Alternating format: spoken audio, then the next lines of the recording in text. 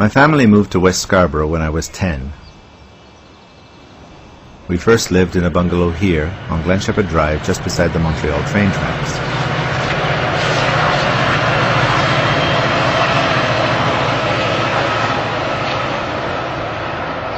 I started school in grade 6 at Walter Perry Public School on the other side of Danforth.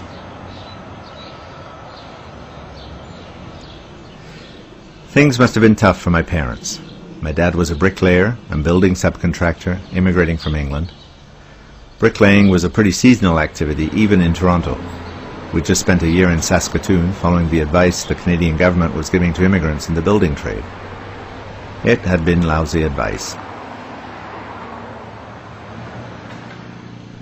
As for my mother, she'd worked part-time in England, but here she found herself having to work a full 40-hour week on the harbour front at a time when the transport system wasn't nearly as good as it is today. It's only now that I realize how exhausting all this must have been and where some of the frayed tempers in our family came from. Anyway, I started grade 7 and we moved from the bungalow to what must have been a lower rent apartment above the smoke shop on Knob Hill Plaza on Eglinton.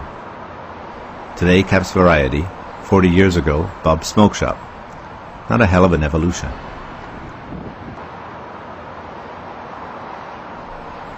The plaza looks pretty much the same also. Some of the shop names haven't changed, others are a bit more exotic, but otherwise it's still the same ugly example of no-frills Canadian commercial building. Having your friends over to a back terrace under the phone lines wasn't as much fun as having your own backyard, so when they could, my parents moved out again. We found a house to rent back on Glen Shepherd. My brother and I stayed at the same school, we each had our own bedroom, and by the time I started grade 9, they were talking about buying the place. They eventually did, and on the left is the bedroom window I looked out of all the way through high school up to the end of my BA. What I didn't realize then was that we were part of a whole demographic movement, even more, of a big upheaval of change in the society, in the city, in the education system. Rick Schofield of the Scarborough Archives told me about it. What can you tell me about the evolution of the demographics of the area, the catchment area that Midland drew its students from? Um, the area was initially established about 1920s um, as an extension of Scarborough Junction. It was called Kitchener Park, mm-hmm. and there were a lot of houses that were built on both sides of Midland Avenue uh, between 1925 and, and 1950. Very small houses on, um, on, on small lots. Not well-to-do people, but people who nonetheless wanted to live in single-family houses as opposed to living in, in downtown where apartments were starting to be you know, three, four story walk ups were, were being built. So there was a core group of people living in that area from about 1923 on. The name Kitchener Park conjures up memories. We often crossed it with my friend Doug, coming back from school. He lived in one of those small wood frame houses Rick talks about on the other side of the park. His mother still lives there. Scarborough at that time primarily looked after the elementary schools. Um, there was an elementary school in that area called Kitchener Park. It was a small uh, one room school that housed the children from that subdivision. Mm-hmm. And the high school children initially left Scarborough to get their education. Immediately after the, um, the war, there was a beginning of amalgamation of the rural uh, school boards. And in 1954, the Scarborough Board of Education was established. At that point in time, it was decided that more secondary schools were necessary. So they split the R.H. King community up, built David Mary Thomson Collegiate, and then in 1962, Midland. This is Eglinton Avenue. This is Midland Avenue. And you are looking east, about 1952. Okay, so we can see that north of Eglinton is still farm. Yeah, north of Eglinton, which is this area here, is all farmland. And this area down here is the Kitchener Park area. Okay, in this picture, this is Eglinton Avenue here. This is the railway tracks that is midway between Midland Avenue and Kennedy. And over here is Midland Avenue. This is the original Kitchener Park subdivision that was constructed in the 1930s and 40s prior to the Second World War. This is a more recent subdivision that was constructed uh, in the early 50s. This picture is taken in, I believe, about 1956 or 58. The, this area here, which is a large empty field at this time, is where Midland Avenue Collegiate is today. Midland Avenue Collegiate was the school I went to from 62 to 66, grades 10 to 13. We were grateful when it opened. Before that, we'd had to walk the mile and something to and from Thomson Collegiate on Lawrence every day. Midland was a new school with a great auditorium, wide corridors, bright cafeteria. Later, a swimming pool was added on.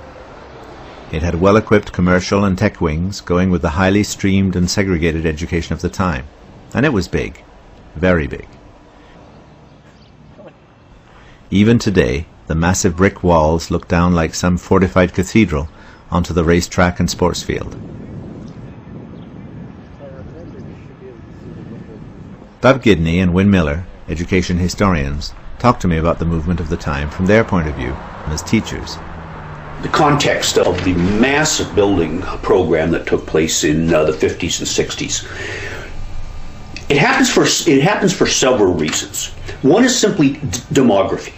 Uh, Ontario and, and, and, most of Canada, I mean, most of the Western world had some kind of baby boom in the years after the war.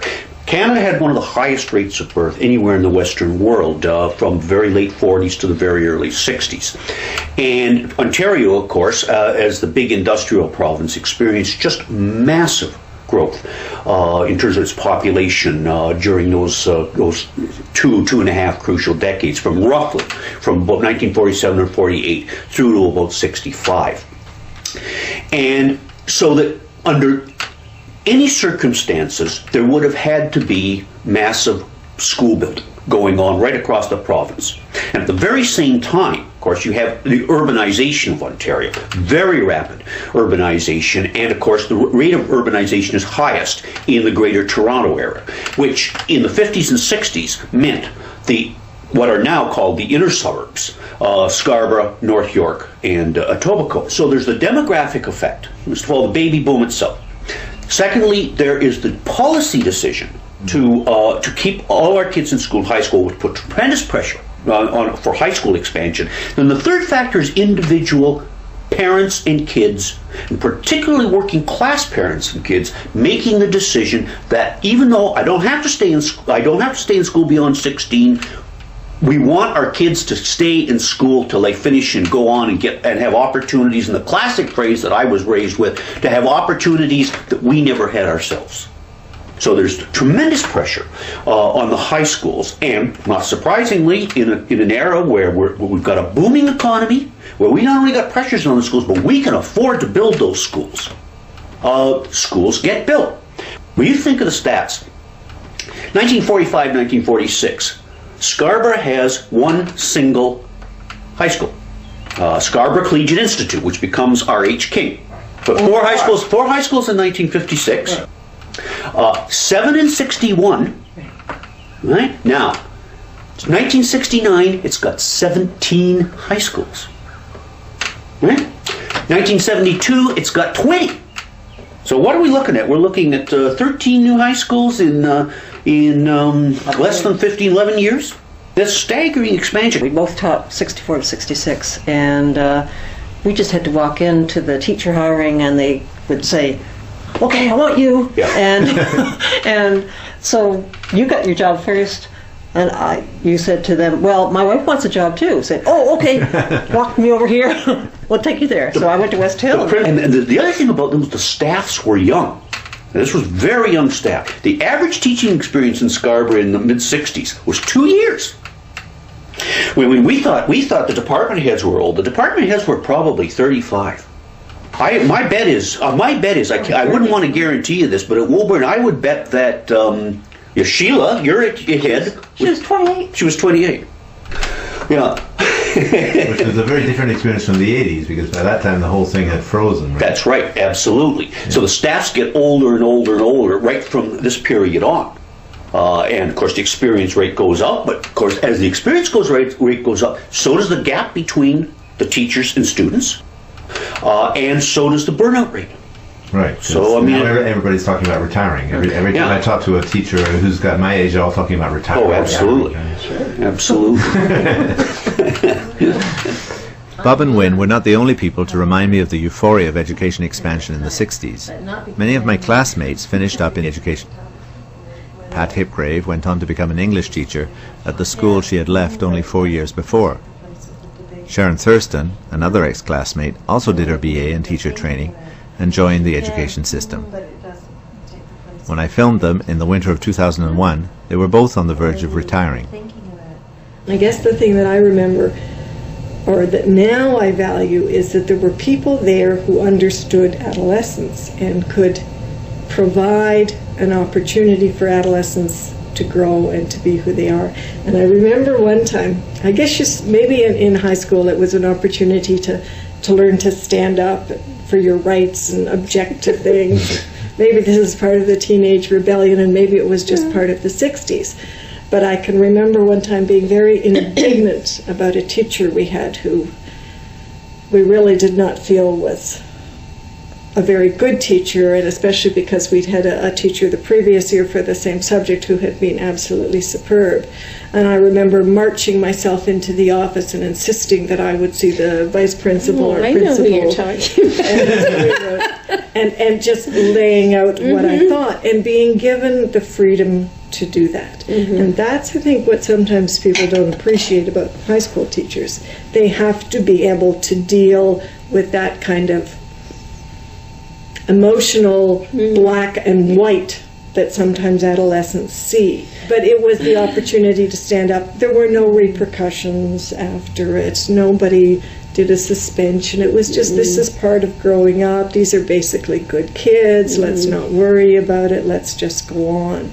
And I'm not sure that the general public always realizes that this this is a gift that people who deal with adolescents have. And if you don't have it, really shouldn't stay Get in out of the teaching, and you really aren't going to have much of an influence. This is Doris Garb and Jim and Sharon. Mm-hmm. And uh, this is Ross. I can't. Contrary to the warm feelings Pat and Sharon expressed, I hadn't really enjoyed my high school years. They're right about one thing, though. The academic teaching hadn't stuck out in my mind. It mostly involved memorizing and reproducing information from textbooks as far as I could remember. I guess the most permanent influence was that it got me started off in French. No, the strongest memories are about the feelings of being included in or excluded from this or that clan of possible friends. Invariably, the ones you felt excluded from were more attractive than the guys you were hanging around with, not to mention the problems I had with girls at the time. If I happened to be attracted to them, they scared me shitless. Still, I got interested in the period again when my mother, who keeps sending me Toronto Star clippings, told me in 1999 they were talking of closing Midland. To me, that seemed absurd. Midland may not have been, for me at any rate, much of a social experience, but there is no doubt it was a great public building, and when I occasionally walked by it on my trips home, it seemed like new. Plus, the idea of closing an educational facility just rubs the wrong way. I mean, we as a generation grew up believing in the virtues of continuing education for all, not just kids, but working adults, old people, everybody. It was part of the ethos of the time. And if life since then has taught me one thing, it's that society at large needs a lot more shared culture, intelligence, more capacity to think things out. Certainly not less. Alright, let's go in. So why were they closing it? Was anybody fighting the idea? Weren't there any alternatives? Having spent much of the last 30 years making social documentary, I decided to pick up my camera and explore these questions.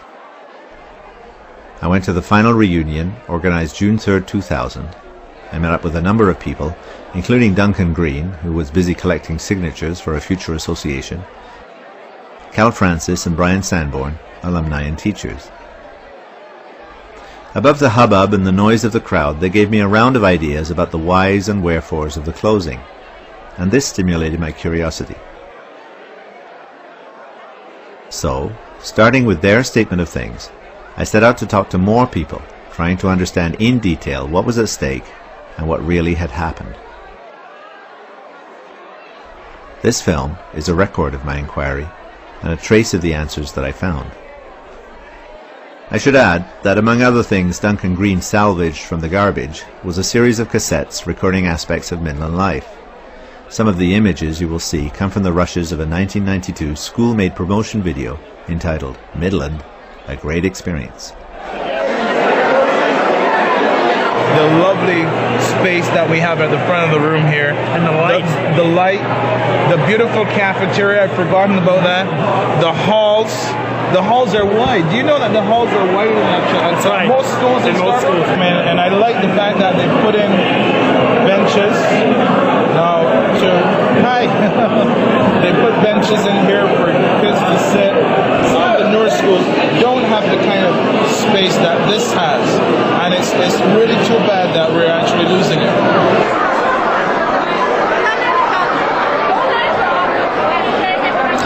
I'm Duncan Green, and I went to Midland in the 60s, I think 1963 to 68. I think, like a lot of kids, that the early years are, of high school are the most tumultuous. That, you know, I didn't participate a whole lot, but I did in the later years, starting in 11 and, and more so in 12 and 13. And, uh, and, you know, perhaps when you're in the middle of things, you don't think of it this way, but looking back, uh, I think it was tremendously important in terms of uh, friendships, in terms of my learning, uh, and uh, I look back very fondly to those years. That uh, not that I would head back there at all, but, but I think it was an important part of my my youth and uh, my experience. What was your reaction when you heard of the news of closing the school? And I certainly knew that there were going to be downsizings and cutbacks in the schools, but I, when it was actually my high school that was closing, I thought, well, initially that's a shame because it removes the physical context uh, by which people who graduated from that school can get together, and so there's no central focus anymore. And I guess I felt a bit orphaned as well that, you know, your high school is not supposed to close, it's not supposed to become obsolete it's supposed to be always there to go back to. and uh, even though I only went back for reunions, uh, it was somehow comforting to know that it was there.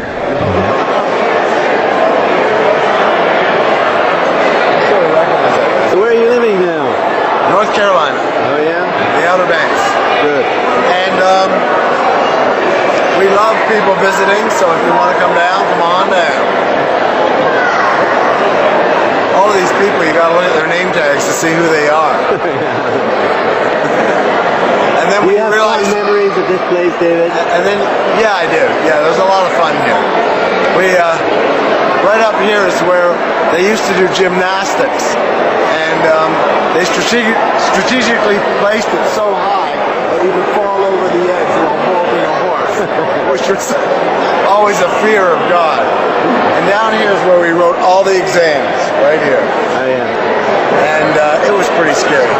All the all the, the memories of when we first came here. When I, I, I don't I don't remember when you came here. When I, 66. Yeah, yeah, okay. You came in 66. Okay, well, that, 67. that was the year I was leaving. I was, Michael was here, I guess, the first year. I was here the second year. And uh, 2,200 people. That's what we had in, in, in 1966. And about a dozen portables. Exactly. That's what I forgot about the portables. I forgot about the portables. happened um, when I went there in 1970 to teach. There were 2,300 students, uh, about 150 people on the staff, 14 portables in addition to the the building that existed.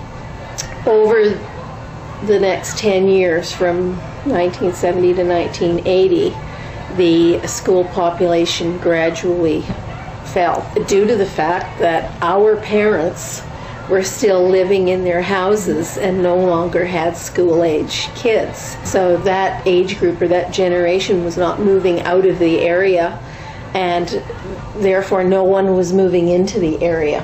And um, so the school population was falling, and I, it must have been sometime in the 80s when the, the first uh, discussion of closure was going on. And of course, it wasn't happening just at Midland. It was happening in all of the high schools in the southern part of Scarborough. Anyway, there was a huge hue and cry that arose at Midland. I can remember as as one of the people on the staff at that time going up to the Scarborough board offices and sitting in the uh, the board meetings, and there was. Um, uh, plea after plea. You know, uh, students would speak to the school board, the, the trustees, uh, parents, uh, teachers, uh, former students, and the, the most heartfelt things were, were coming from these people about what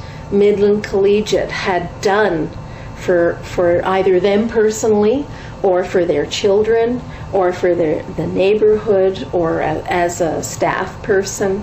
Um, and uh, it, it turned the tide. It, it changed the board's decision. Uh, they, they did not close Midland or any of the other schools at that time. They decided to let them run.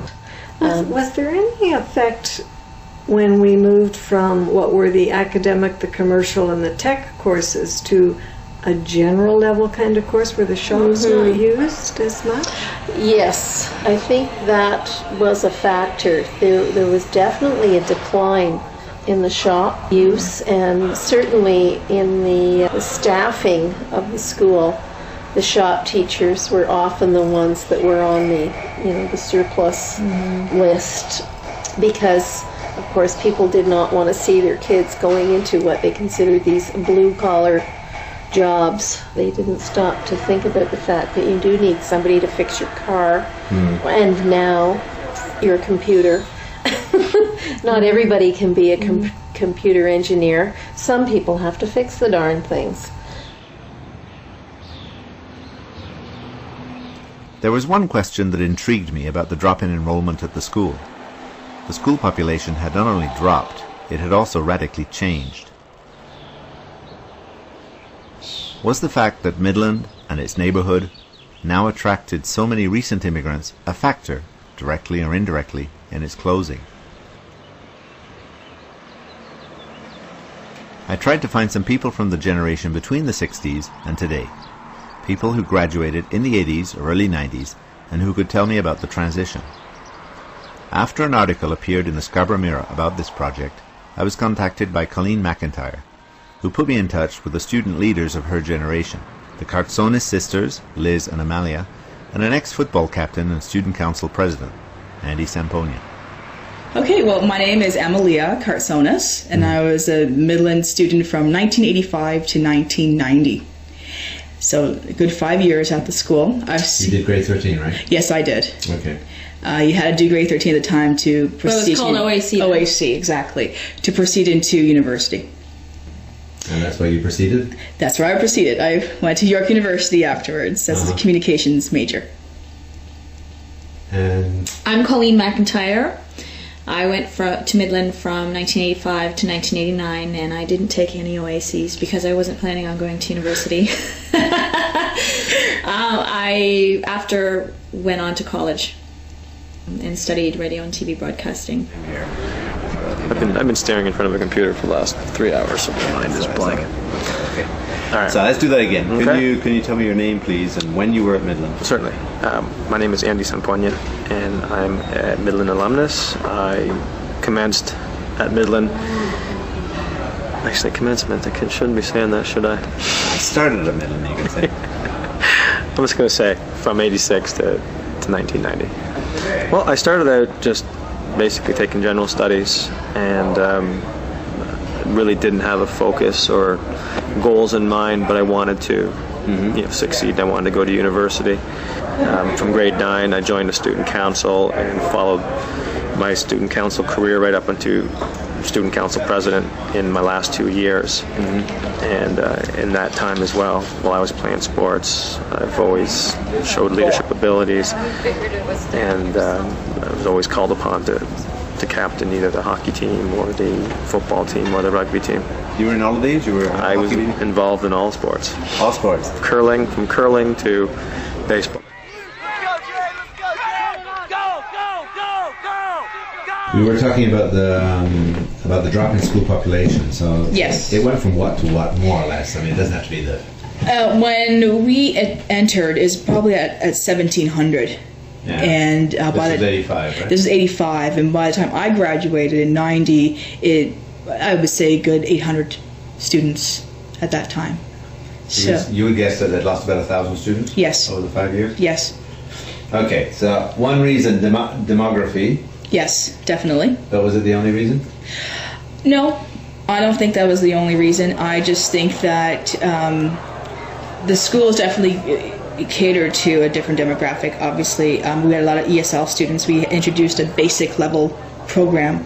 We had advanced general and then a basic uh, level program was introduced when we were, I believe, in grade 10 or 11.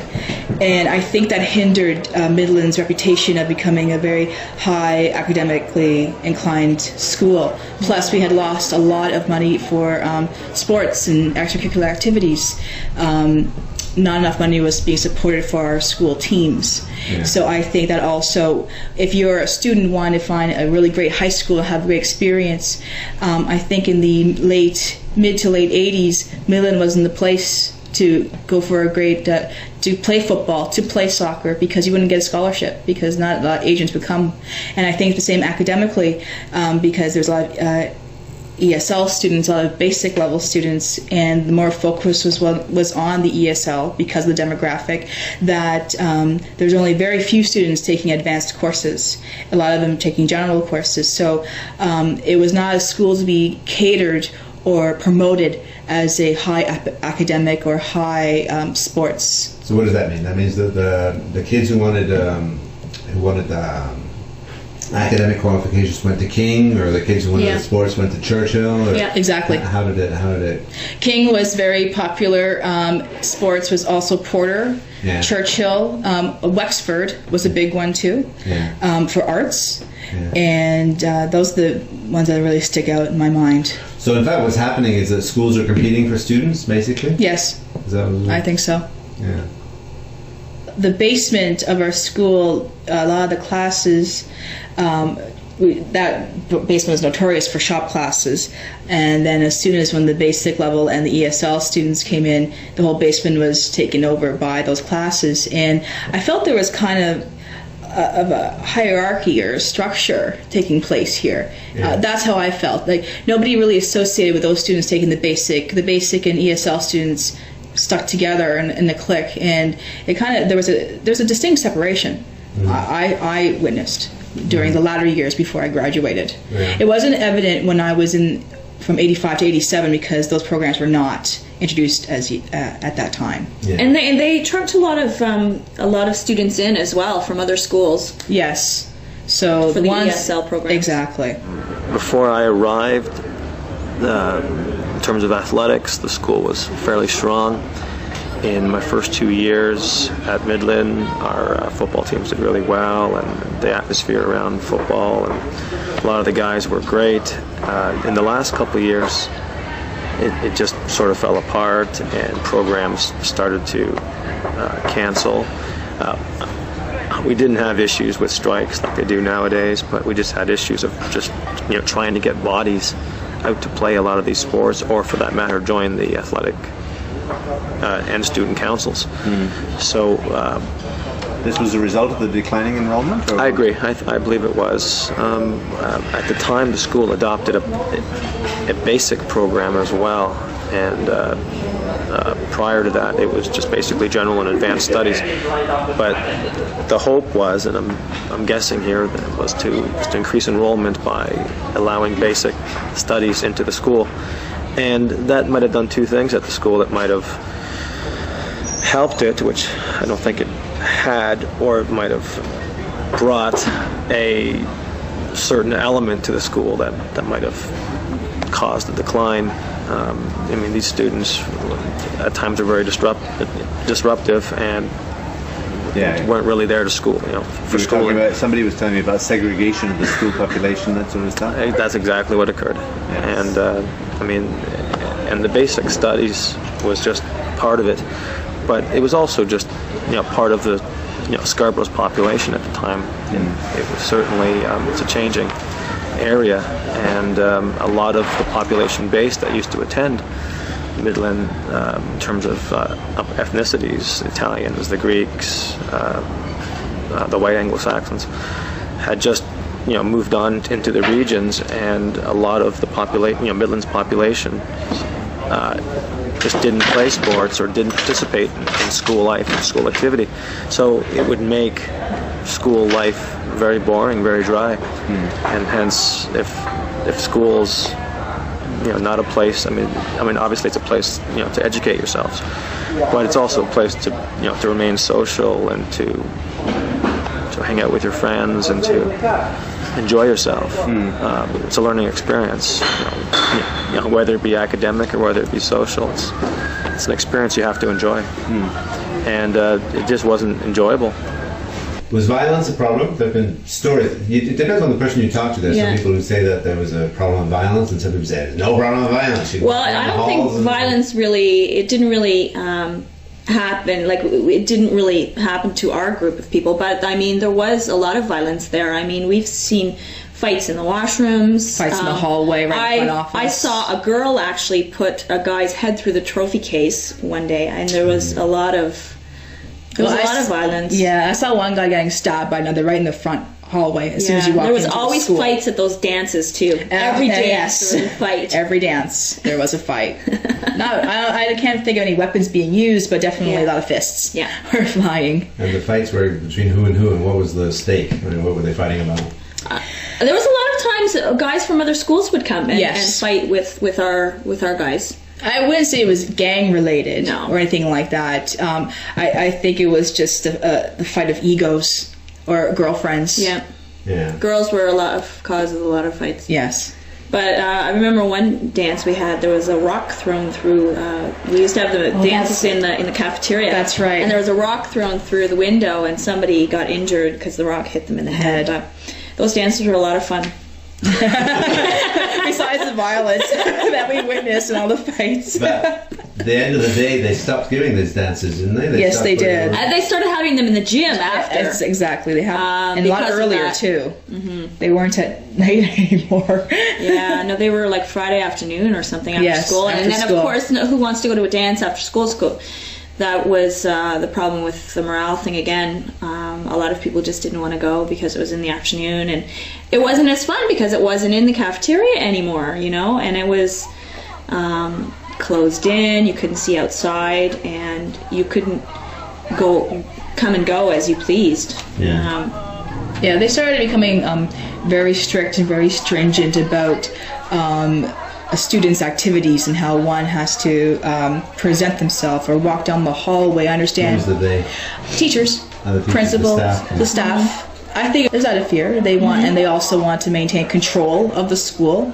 That would also turn a lot of students off from going there as well. Yeah. And I understand a year after I graduated, they started implementing a hall pass program, and uh, that was never heard of No, when we were there. no. We were, if you were in the hallway, you were questioned why you were there, but never given a hall pass. I think that they were trying to maintain con- a control of the students, and by implementing uh, such um, methods of having dances in the afternoon and and having hall passes, so no violence or or bad behavior would erupt. Mm. But I, I think that hindered a lot of students from ha- actually having fun, and from Mhm. other students coming in and, and saying, "Wow, I like to go to this great school." So again, Yeah. I think I think Yeah. the reputation of the school altogether.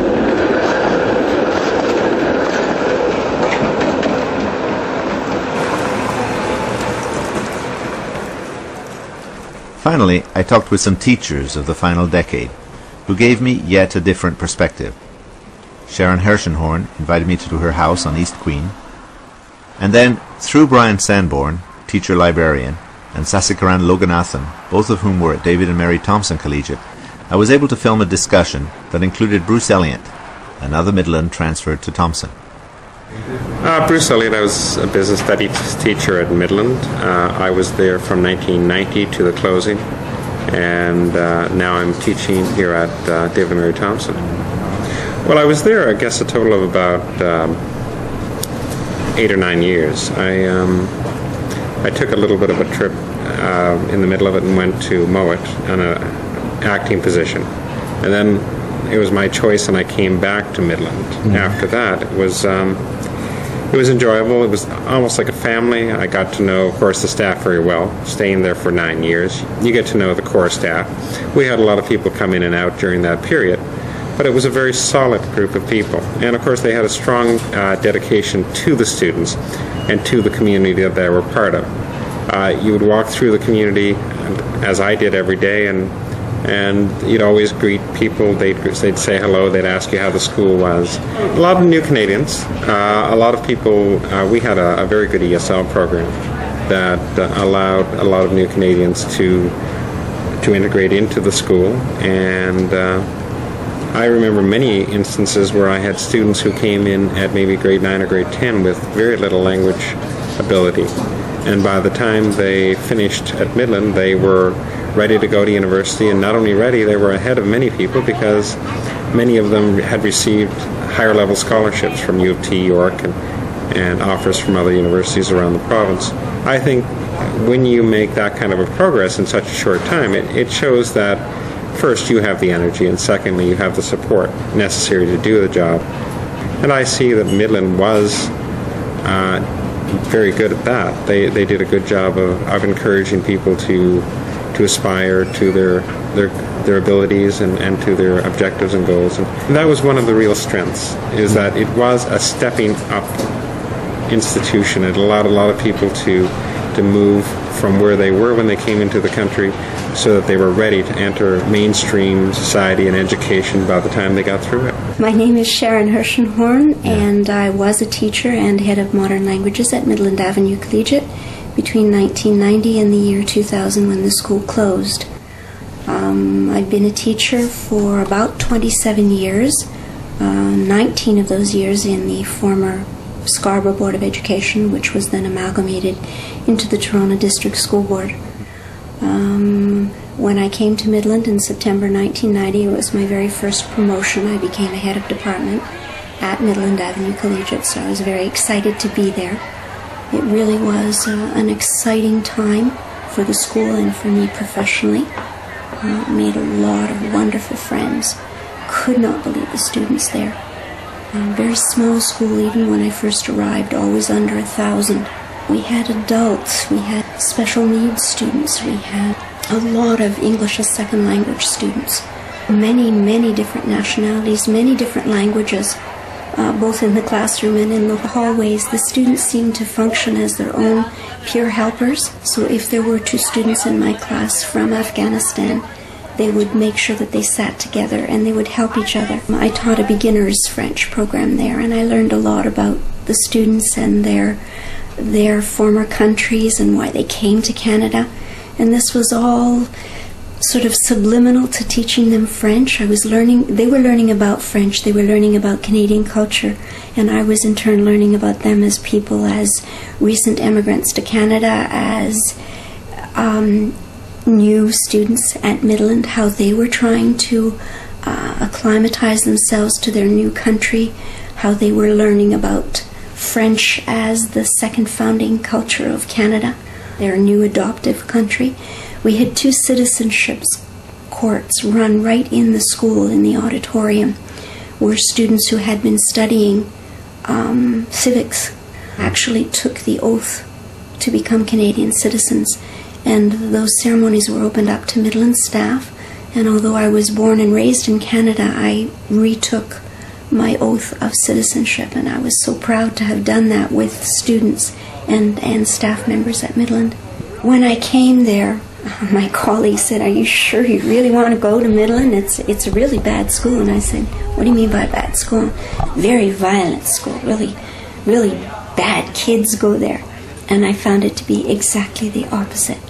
Kids were quote normal, what I would had it, what I would have expected at any high school anywhere in any of the uh, city schools it was an inner city school, but there was no more violence than I had been exposed to at any other school that I taught at. And prior to coming to Midland, I taught at four other collegiates in the former Scarborough Board. It was no different. We had planned as a committee before school closure was even an idea, I think, to um, draw students to us by our international focus. We had considered uh, international baccalaureate, and I was part of the team that went out to do some research on schools which were uh, schools in Ontario, not just Toronto, but in Ontario that were offering the IB program.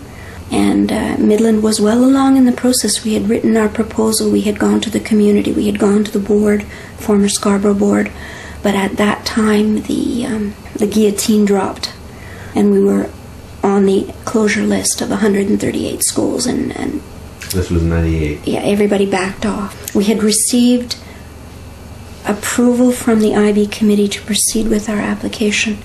Uh, the United Nations had granted us its flag, and they've, they've only done that, I think, twice before in North America. And we flew that flag very proudly on our on our flagpole out front of the school.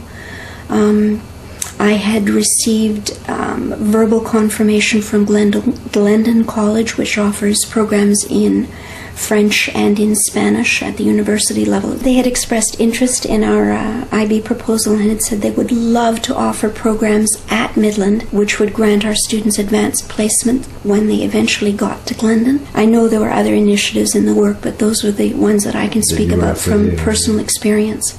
I felt the future was bright for Midland, I really did.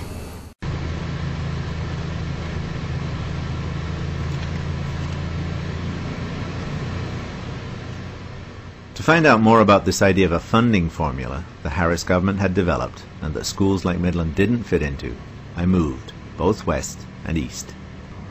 West to London, where Bob Gidney lives in a comfortable house with his wife and fellow researcher Wyn Millar.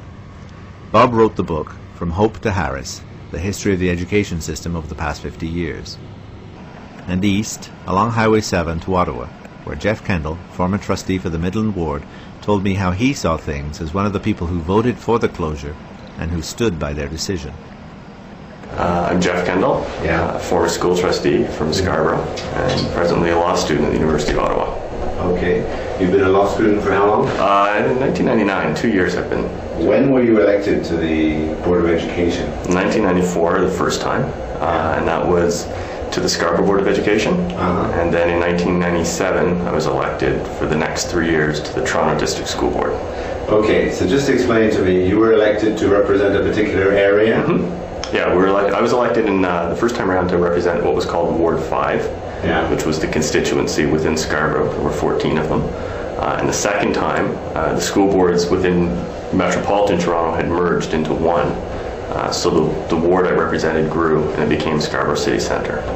The reaction against the school boards begins in the very late 80s, but gathers enormous momentum in the early 90s. And there you're not talking about the Harris government, you're talking about an NDP government.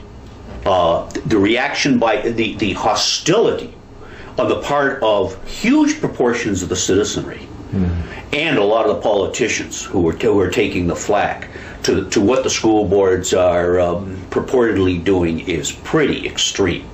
Uh, Dave Cooke, after all, was, was, was Minister of Education in a social democratic government, and he was appalled by the school boards. And it's Dave Cooke who first who, who initiates the policy of stripping the school boards of much of their power and amalgamating them.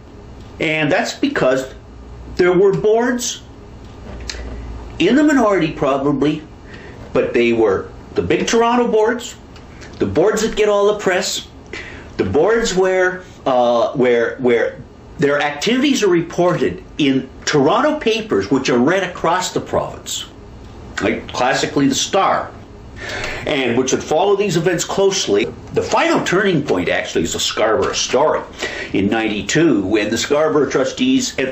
Remember now, we're talking about at the height of a depression in hmm. Ontario. The most serious recession we experienced since the 30s. The height of that recession, the Scarborough trustees voted themselves a 60% raise. And the people Scarborough's property owners just exploded because they've been seeing their tax go, uh, their property taxes rise in sometimes double digits annually, year after year after year, to pay for the uh, programs. And that wasn't entirely the trustees' fault, by the way. But there were incidents like that that just exploded all over the press and had the media calling for action, and the politicians uh, just shaking their shaking their heads and rolling their eyes uh, over this. Uh, initially, it was, I saw it as an opportunity to get involved in public service. And uh, politics has always interested me since I was quite young. And it was really a good, it's a good level to get in and you know begin a bit of a career in politics. It's it's small and local enough that you can sort out what your style is. You get to know people very well, and you get to uh, you know test the waters a little bit and see if it's right for you. Uh, looking back, it was a good experience uh, because I learned a lot of skills and you know techniques and that that I wouldn't pick up anywhere else, and, and will never have an opportunity to experience again. You know, public debating uh, in a forum, uh, in a democratic forum like that, uh, where there's no right and wrong. It's the consensus building. Uh, just an opportunity to meet literally thousands of people in the community uh, and find out what's important to them. You get you get to know your community a lot better, uh, and to deal with some of the big provincial issues that, that we were facing at the time. We were looking back at the beginning. I didn't realize what I was going to be part of. Looking back, I was part of a great upheaval. It's not something I would want to be part of, but having been part of it, looking back at what happened, it, it certainly was a valuable experience and lets you get a different perspective on how decisions are made. The notion of a funding formula arose from a central problem that arises with the kind of financial arrangements that have been traditional in both Canada and the United States, where the sources of funding come from both the state or provincial government and from local school boards raised on the, the local rates, the property tax. So, in other words, if you, if you just consider the residential tax base, you've got built in inequalities of opportunity. Just because the kid is born in a rural township, uh, or, or say in, in, in northern Ontario, those kids are going to have less resources at their command per, pupil basis than you are in Toronto or London or Ottawa, so, so the richer boards in Ontario. Now, how do you get around that? And the answer was increasingly you can't. Okay? So the compromise in Ontario for the last 30 years has been the government would give grants to uh, to each school board, and they would attempt to equalize. There'd be an equalization formula. The, the, the government would attempt to give more grants to poorer boards, less grants to rich boards. The problem was that that really didn't address the issue. You could bring all the poor boards up to a minimum standard, but Toronto could just keep taxing and taxing and taxing its local residents, and, and so that there's still be vast disparities between the big urban boards and most of the rest of the province. So the solution that the experts came up with again and again in reports was the only way you're going to give equality of opportunity across this province is to really substantially restrict the power of local boards. Tax. The Fair Tax Commission in Ontario, anything but a, uh, but a Tory plot, let me tell you, deliberately set up to reform the tax in a more equitable manner by a social democratic government.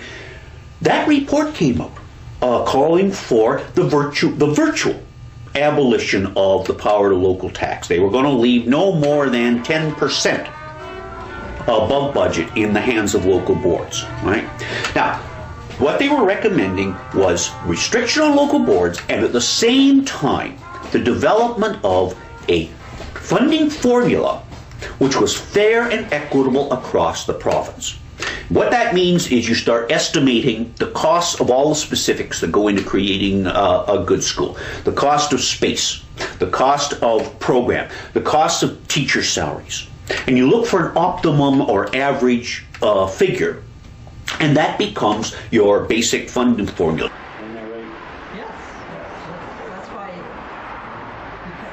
I felt that Bob Gidney was giving me a very positive spin on the funding formula idea. It sounded almost as if he had been one of those experts on the expert panels he had talked about. So I tried to get another point of view from another source. And following leads or reading articles, I finally ended up at the source of all those fabled newspaper clippings. Yes, the hallowed press room of the Toronto Star, one of the few serious countervailing powers in Ontario politics. I am Trish Crawford with the Toronto Star. I'm a feature writer. I write in the Life section currently, but I have also covered Queen's Park, City Hall, Board of Education. And why? Why these changes? There's there's two uh, goals. One is the province wants to save money. The second thing is a philosophy that the student in Welland is the same as the student in North Bay is the same as the student in Toronto. Ontario hosts half of all new Canadians, and Toronto hosts the bulk of them, and as well as the 905 area right around it. There are 530 students in an area of Toronto called Rexdale who started kindergarten, junior kindergarten, with English as a second language, and yet they're born in Canada. One in five children in Toronto is raised in family below the poverty line. That means something, it means something that the schools have to catch up to. There's breakfast programs. Recreational programs are twin to many, many schools. They're the heart of all the activity that these families participate in. They don't have money for clubs and other memberships. They rely on the school board to provide these. The, all the pupils don't come to school armed equally with the same ability to succeed, and you have to spend more to level the playing field for some. Virtually every panel that studied this matter uh, said there's a case to be made for equality across the province. There's a case to be made for central funding. But we also got to remember the politics of local autonomy. It's important that local boards have the power to make decisions uh, within limits. So the proposal was always to leave the boards with 5%. 10% power to tax. In other words, you could raise uh, 5 to 10% from your residential ratepayers uh, above what you got from the government. The Tory government made the decision to wipe that out. All the funding was to be determined by Queen's Park. We don't know exactly why they opted uh, to go against the advice of successive uh, expert uh, panels, but they did. And consequently, we now find ourselves in a situation where the only money the Scarborough Board has at its command for the first time in our history is the money it receives from the provincial government.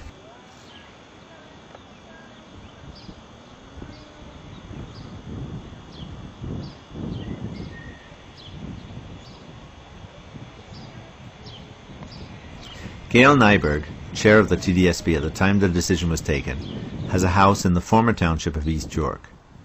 She took half an hour from her work on the Canadian census to talk to me. The history goes back prior to amalgamation. We uh, we amalgamated all of the six area boards into one in January '98. Prior to that, it's my understanding that the former Scarborough board had looked at Midland as a possible closure because it was it had a low enrollment base, but I think most importantly, it also had a lower enrollment base in the high schools that surrounded it. When amalgamation came forward, all of the area boards basically stopped with any planning and worked on bringing these boards together. In March 1998, we had a new funding formula that came from the province, and the way the way it, the the square footage was calculated, it appeared that the Toronto District School Board had 11 million square feet. At that point, we knew very, very well that we didn't have 11 million square feet in excess, but the formula was devised in such a way that that's how our numbers came up. So the board lobbied the government for a long time to try to get them to change the funding formula.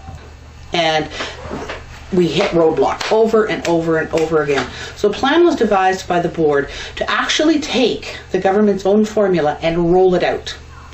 And we began to compile a list of schools that you would close if you were trying to remove 11 million square feet.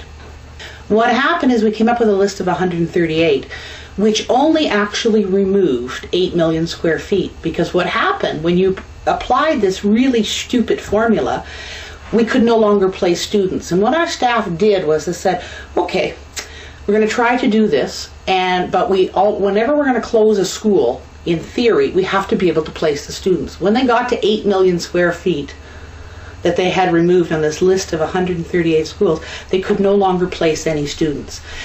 And the board announced that list, and it threw this community, Toronto, into a tizzy. But what happened was. Was that intentional, the tizzy? Uh, absolutely, absolutely, it was intentional. It was intentional, and I, and I can I can tell you, Michael, when we got the list of schools on the Saturday in an information session. The board was all behind this plan to do this mm. uh, because we knew we had to prove to this government they were wrong, and they don't have a history of listening, so it had to be pretty dramatic. And boards across the province were facing the same difficulty. But I understand, when you live in Toronto, you have the press in your backyard, and we are so much bigger than any other board uh, that our numbers are staggering. When I looked at the list and I looked at the formula and how it worked on the Saturday before, I can remember saying to one of our facilities people, my gosh, this formula is so stupid and it's so simply stupid that even the press are going to get it.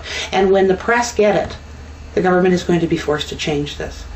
So on October 29th, the board announced these 138 schools. And it took six days. Six days of public pressure and just uh, like it, like the, the community was up in an up, uproar before the government said, "Okay, okay, you made your point." And they amended the formula in the ways that we talked about. And when the formula was amended, it put $54 million back into the Toronto District School Board budget on a yearly basis. But I think what one of the reasons Scarborough was on the first, uh, or Midland was on the first list is because it did have a large square footage. It could bring you closer to your goal, but it did have a number of high schools surrounding Midland that uh, that could receive the kids, and also uh, certainly all of the experts have, have said to me, I'm not a teacher and I don't purport to be, but I do know a little bit about organizing high schools. And when you have 650, 700 students, uh, it, there's some good situations, but you also limit the the offerings of, of courses and curriculum that can be offered. The optimal size of a high school is about 1,200 and uh, it, it, gets a little crazy after it's 2000. And at 600, those students were uh, losing out on some of the options. I was just mulling over in my mind the notion that there might be a dark side to all those sunny Canadian lawns and tidy houses when suddenly there was a scream. The bus I was travelling back from Ottawa on lurched to a quick stop. Somebody had thrown themselves out the window a distraught teenager apparently trying to commit suicide. Everybody got out. We were quickly surrounded by OPP, stuck at Highway Junction 7 and 38 until well after sunset. I felt I was lost in a punch-drunk road movie. The driver had to be replaced. A passenger who had witnessed the scene was too shaken to continue the journey. She went back to Ottawa.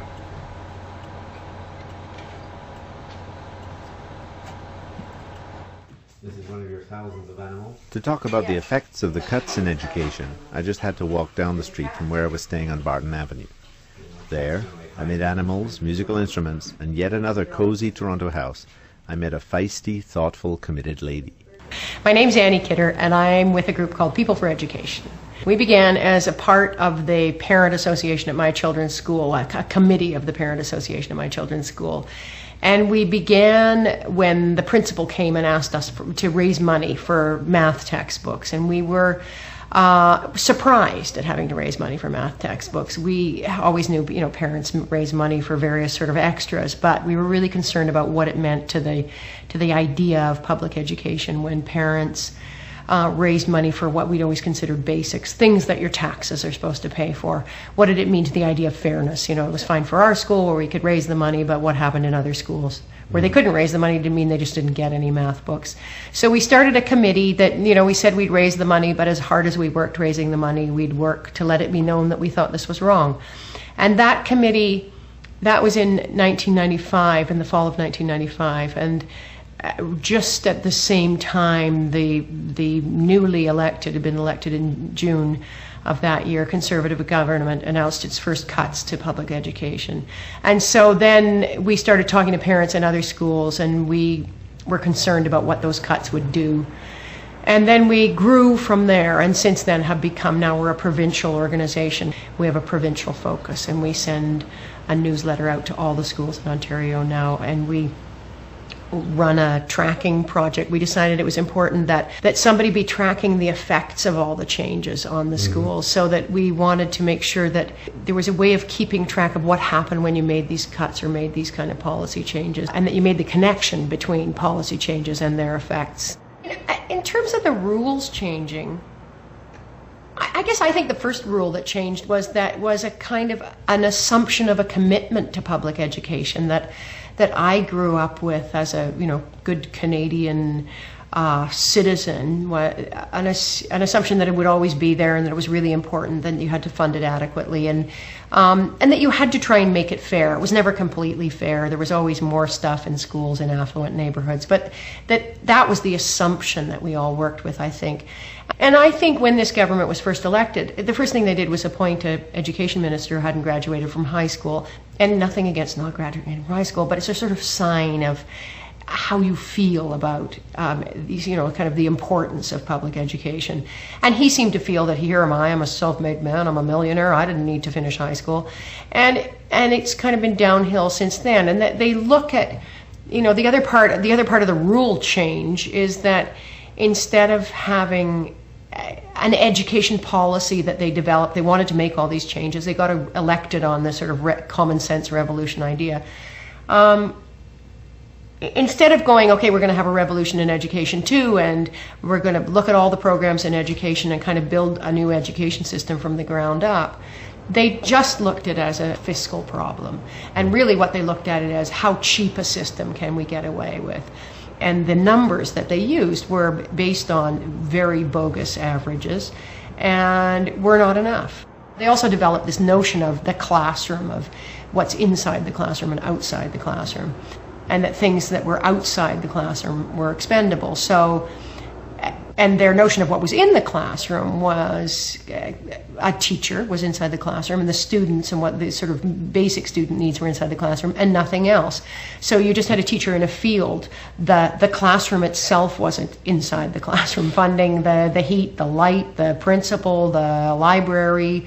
Um, nothing else was inside the classroom. And so when they, the first they made that arbitrary division between inside and outside, and then they said everything outside the classroom is is those are expensive expenses that can be cut more. You know, we can really tighten that up. There's too much fat. So once you decide that, and you you narrow the funding that much, you can't keep all the schools open. And what we're seeing is uh, schools that either aren't full by their notion of full, but also small schools close because their formula doesn't allow for small schools. They big schools are more efficient, right? You get really a lot of kids in a school, and you still only need one principal and one librarian if you can have a librarian.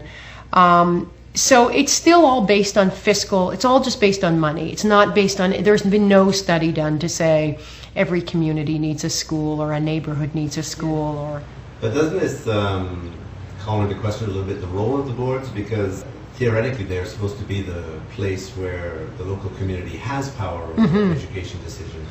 I, yeah, but if you take away their control over money, I mean, if you don't give boards, if you say to a board, you can stay there and be a board, we're not going to pay any of your trustees, and we're not going to give you any control over money, they can't really do anything. I mean, they our argument was resign, you know, quit en masse, say we refuse to do this, have a revolution. Boards aren't usually very revolutionary, though. Um, yes, school boards are there to represent you know local needs and to take care of the needs of their community, and that's what they're supposed to do. And I think they've all tried really hard to do that, but they're completely they're beyond constrained. You know, they're handcuffed by by no funding and by by a real restriction on where that money can go. There's no flexibility either to move money around. To grant this school board good intentions, I think it saw this as the best solution was to close the 30 schools they're going to close. Um, and the, with the least suffering you could argue against that. Um, eh, there had up to before amalgamation there was a policy in the toronto board. We, we also amalgamated seven boards right? I mean we're dealing with a lot of different things at the same time. There was a policy to not close schools. It was a board policy and they just didn't close them. Because the population changes and it's you know not sensible to close schools Adult education was an important factor in the school. Wasn't it? Very much so, and I those remember that. I remember during some of the articles that there was a debate about how the adults were counted, whether they were counted. They weren't counted. They were simply removed when we were counting heads for the funding formula. The um, provincial government, the uh, provincial conservative government that was elected in 1995, slashed our numbers arbitrarily by saying we could not count the adults, we could not count the cosmetology, which was a thriving program and included both adolescents and adults, and we were absolutely not able to count the Section 27, which These are special students, most of whom have been withdrawn from the courts from their homes, placed in group homes, but the courts wanted to maintain their the continuity of their education. So they would be placed in special classrooms until the program directors deemed that they were ready to be integrated into a regular classroom. And uh, as a teacher, I was fortunate enough to come in contact not only with the program but with several students who were successfully integrated into my classes. They were absolutely not allowed, and so our enrollment dropped from just below 1,900 to 800 to 6, 700 to down as low as 600 at one. And it was like they were tightening the noose around our necks. They weren't taken into account because one of the things that happened at the same time that the funding model came in is the government changed the entire way that adult education was funded. Prior to amalgamation and prior to the funding formula, adults in regular day schools were funded at the same level as a 16 year old, which was about 6,500 at the formula, any adult edu- education, any education for a person over 21 was funded on the continuing education formula, which is $2,257, with no provision whatsoever for facilities. And so to count them was a nice option, but it was not an option that, that, that the board could do because there was no funding for them. So they were in there and it continued to even be a, a bigger draw on the budget. So much as most of the trustees on, on that former board that I was on valued adult education, they knew that uh, that they couldn't count those numbers because they weren't receiving any facilities funding for adult learners. But how does that jive with the with the business of the Education Society and uh, Well, doesn't information technology and all of this? sort doesn't stuff? doesn't jive at all. I mean, but it's very popular from a provincial point of view to say, you know, we're not going to fund adults the same as teenagers, and then say, but well, wait a minute, our welfare rolls are are increasing. People don't have education. Somebody should do something. Well, it's a lot cheaper for a board of education to do it than some of uh, some other uh, institutions. I had people who were in their uh, 30s and 40s who had been on the computer for the first time. Uh, I was teaching accounting to uh, people who were, were thinking about running their own businesses. And this was the first exposure that they had had to accounting, marketing, the whole idea of sales, advertising, getting out there. And many of them have gone out there and started their own businesses. And I think that was a valuable contribution to society in general, and, and I feel that um, it was the money was worthwhile and it was well spent. Um, unfortunately, the government decided that, that that wasn't a priority, that it wasn't the government's um, role to to educate or re-educate or to retrain people in the public school system. That that would be done by continuing education at a much lower cost uh, by people who were genuine, hardworking, but paid far less than I guess we were. They wanted to uh, turn it into a business. And I guess there's nothing wrong with turning things into a business, but um, when it comes to dealing with people, you can't always do that. You can't always be looking at the bottom line. And you can't always be looking for a profit. You have to to be sure that uh, what you're doing is for the good of the person and not uh, counting the number of units output or or um, you know or just simply saying well this class this school has done well because it has an 80 or 90 average. Well you got to look at where they came from and you got to look at where they ended up. Did they make progress? And uh, I see this happening in a lot of the college systems and the university systems right now, where uh, government is giving performance objectives, saying we want you to have a certain um, level of graduation, we want to have a certain level of marks, and of course, uh, funding is connected with that. And it's not unusual to think that um, the marks at certain colleges or universities might come up to those levels and of course, uh, those levels of funding will be sustained. Yeah. If that's what the government wants, I'm sure that's what the government will get. But uh, does it necessarily mean that uh, education has been served as a result of it? I'm not sure.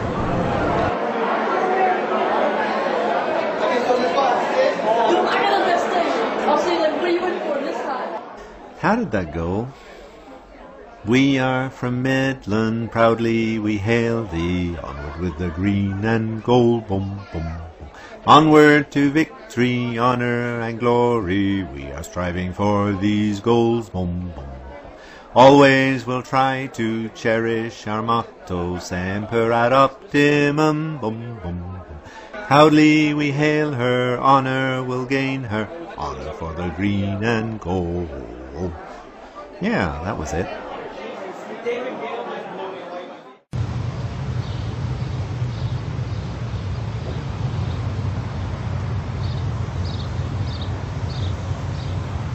Hey, my name is Judy Hannanen. I am a mother of a child that was attending Midland Collegiate. He'd only started grade 9. Um, I met Irma through our cause of trying to save Midland from closing. Okay. Uh, Irma Kemp. Um, I'm a parent from Midland Collegiate. My daughter finished grade OAC last year, and Jason is there in grade 11 now. It was November though when the um, We're talking about provincial government, 99 or uh, 98, um, when the provincial government decided, in its infinite wisdom, that the budget for the uh, all of uh, the Board of Educations across Ontario would no longer be able to be funded through their own municipal governments, and that they were going to therefore be footing the whole bill and they were going to reconstruct the whole of the education system. So it started back then and the Board of Education, Toronto Board of Education initially wanted to close 138 yeah. schools and a big alarm went off and there was so much confusion as to what criteria would be to keep a school open, keep a school closed. Everybody was upset and I think the ball got rolling then. Um, and then it went into the spring of 99 and they then issued another list of 30 schools 37 30, they were going to close 30 over three years, so 10 each year. And that was mentioned in April, and we found out at the end of April, like that our school was on the first list of 10. So, results, schools closed, and parents get angry, and I Mhm. suppose parents try and do something about it, no? Yes. I mean, I think that's been the hardest, saddest thing has been watching parents whose schools are closing. We really, really tried to get parents not to ju- to do two things at the same time to fight for their own school but to also to try to stay away from saying close their school instead you know that which is a which is your kind of natural inclination. But also to keep their eye on the whole problem instead of just their school to go this is a provincial problem and it's because of the funding formula. And but it's it's terribly hard. The process has been uh, really awful i think in toronto and in most places. I think it hasn't been very fair. It hasn't been it's been very hard for boards to be brave enough to just say we're closing your school no matter what you do. We've decided this there's no way we can keep it open. We don't have enough money. Instead they go through and they do this all over the province this long process of consultation and we'll talk about it and we'll see if we can figure out different things to do. Except the end result always is your school closes. There's been very very few where they've actually taken it back. One school here i think in toronto. Uh, and you know other places even when that gets taken back for a year it just gets closed the following year. Um, and it's a really emotional thing. I mean i know that when my kids school was on the list and that's when there was a huge list of schools that were going to close um, I, I cried. I and for, because it was my I'd moved really a lot when I was a kid, and, and this was the longest I'd ever lived anywhere in my life, and it was my community. These were this was my you know I finally had a community, and suddenly it was going to be taken away from me, and it was really big, and I had no idea. I mean, I'd been blithely going around talking about it as a kind of political issue, but until then it happened to me, and then I you know I phoned all the press in tears, and which you're not supposed to do. Um, it's not a very political activist thing to do, but it's it's really. I mean, that's been the hardest thing, you know, in terms of trying to explain to a government who doesn't see who wants to who, who's trying to just sort of get away with how cheaply they can do something that to explain in a kind of uh, an amorphous or weird sort of uh, notion like the emotional connection or the necessity of a, a, a community school or a school in your community they just go you know, show me the dollars and then I'll understand it. But the formula whereby you can figure out that, it, as you know, and it's actually, I mean, it's horrible enough in the city when your school closes, but in little tiny towns when the school closes, it's appalling. Some it can be the end of the community, and it's. I think that you know the things that you can't measure or fund are that parents meet other parents in schools, that your your the neighborhood is enhanced. It makes a difference to business. It makes a difference to real estate prices. It makes a difference to, but it makes a difference to the you know the kind of quality of life.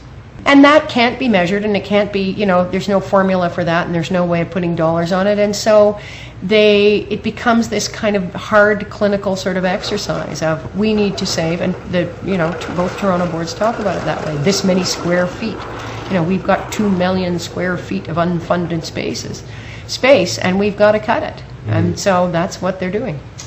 You had a new principal at this time, right? Uh, Nadine Siegel came on board in 98. And her reaction was that uh, of the staff? Um, yes, she wanted to fight to keep the school open. At that time, we were under the misconception that the board would really listen. We really believed that in a democratic society that our elected officials would listen to us. And so we began a lobbying process. We started with the school trustees, the elected officials. We started with our MPPs, the uh, member of provincial parliament. We thought they would listen to us. Um, we went to the media. We thought they would listen to us. And uh, as I say, it was a misconception. Were you part of a staff group? or Yes, I was the SOS committee, Save Our School committee. the beginning of May, we had a meeting at the school saying, okay, we're on the list. Um, we have to um, get a area review committee together, which involved the principals of the six schools in our area, six high schools, and um, a parent from each school, a student from each school, and the superintendents and the trustee was invited. Um, it was actually a quiet arc. They didn't have a lot to say. I went to every meeting. We never, I never missed a, a meeting. Um, but as an observer, we weren't allowed to talk. You had to sit and listen. Um, You, you weren't allowed to speak up. no, and that was. What was the mandate of these things? What, what were they supposed to be doing? Well, I think the mandate was to find uh, solutions to the closure, bearing in mind that there were criteria that you couldn't infringe upon, such as that you couldn't label another school to be closed, you couldn't.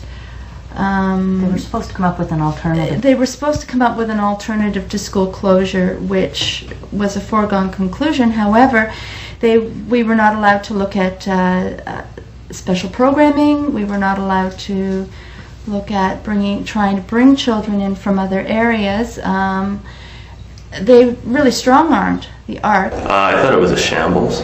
I didn't. I didn't like the process the board adopted from the beginning. Who was the chair of that uh, commission? Do you remember? Uh, they were local things. They were. They were really local community committees that the board set up, and there was no chair. This was part of the problem. There was there was nobody in charge of the process to, to define what the mandate was and to define what the issues were they were looking at.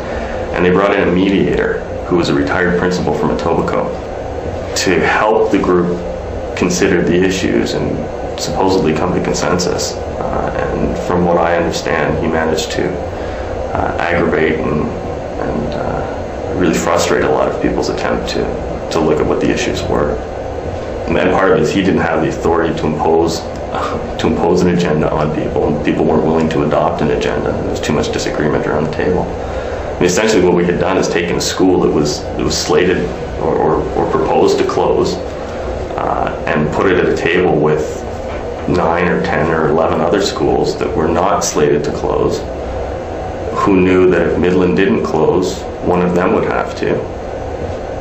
How much cooperation can you get around a table like that? You know, it's, it's a, it, you, you turn it into a situation of us or them, and that's what the school board managed to do in their in their local committee process. This area review committee. This was in fact the this was in fact the public hearing, right? This was the Well, it wasn't very public, and they certainly didn't hear. But yes, that was what that was his ostensible function. His function is to give a public hearing to the decision. yes, yes, but you weren't allowed to speak. it was a public hearing, but they didn't listen. And the uh, the. That's right. Irma, Irma told me that. I, I found that rather surprising. That in fact it was it was something that it was supposed to review the decision, but there was no. But it didn't. They, I think they came into the area review committee meetings with the decision already having been made, and I couldn't believe it. The so-called facilitator kept saying again and again, um, "Well, when Midland closes, well, Midland is closing, and what are we going to do? And which school is going to get this? And wha- which which schools will the students go to?" And we kept saying, "Aren't we supposed to provide you with proposals on how to keep Midland open?" And then if the proposals don't fly, then we will consider Midland closing? Okay, uh, perhaps you can confirm something or not. Irma, I was talking with Irma. This is now last year, but she said that in the parents, amongst the parents, they felt that uh, when uh, SOS committee reconvened in in September, uh, they felt that somehow the, the teachers had been told to sort of put a lid on their on their protest. Was was this true or not? I was never told personally, but I heard from some of my colleagues that yes, they had been called into the principal's office and, in very plain terms, told to cease and desist. The principal over the summer when we had all our meetings, she was invited, she didn't get involved. We had a secretary that kept minutes and did give her copies of all the minutes, so she did know what was happening. It wasn't until the first week of school when the teachers were back getting, or the, the week before school opened, that the teachers that were involved, I guess there was a meeting at the school and they were more or less told enough is enough. And that was the end of any teacher involvement. The attitude of the school trustees was what? I mean, did your local trustee support you? Oh, he was horrible. to put it quite bluntly, he was. He he had it out. He felt that school should have been closed years ago. He's a young guy. He hasn't been. He's not married. He still lives at home. He has no children. He doesn't understand, and we couldn't get across to him the reason this is a community issue. This is not a, a children's issue. This is not, you know, it's a community issue. You're ripping the heart of the community out when you rip out a school. It's what keeps people in the community bound together. Um, and we tried to get that across to him. We tried to get him to see that busing, the, uh, we're in a community where the kids would have to take a bu- two to three buses to get out of the area to get to a new school. I mean, he just he just didn't get it. He was playing a political game where he was going along following procedure.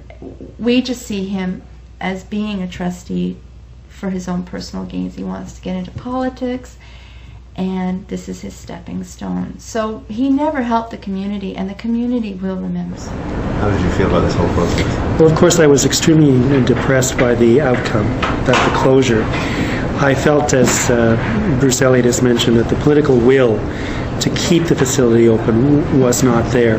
We did have a dozen parents, however, who were active on our, their Save Our School committee, and they did mount a very uh, vocal and ongoing campaign to save the school, such as letter writing to the trustees, which was almost a weekly thing for uh, for many months.